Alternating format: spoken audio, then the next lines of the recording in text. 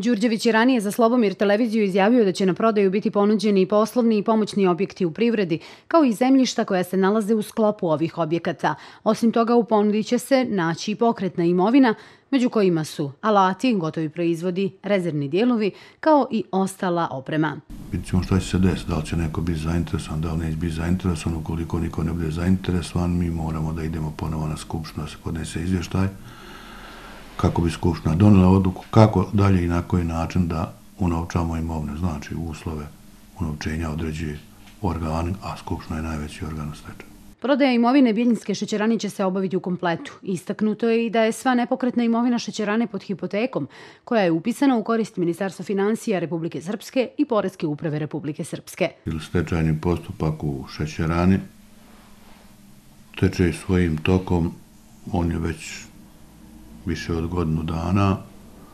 Mi smo u vrlo kratkom periodu mogli i uspjeli da uknjižimo imovnu, da riješimo imovinsko-pravne odnose, normalno s pomoć malo i ministarstva poljoprivrede.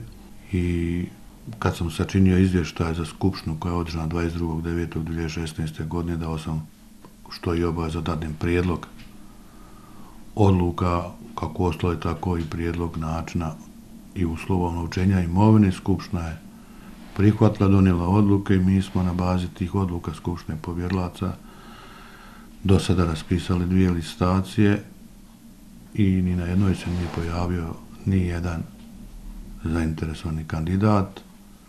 Mi ćemo sljedeće sedmice raspisati treću listaciju, također po odluci Skupštine.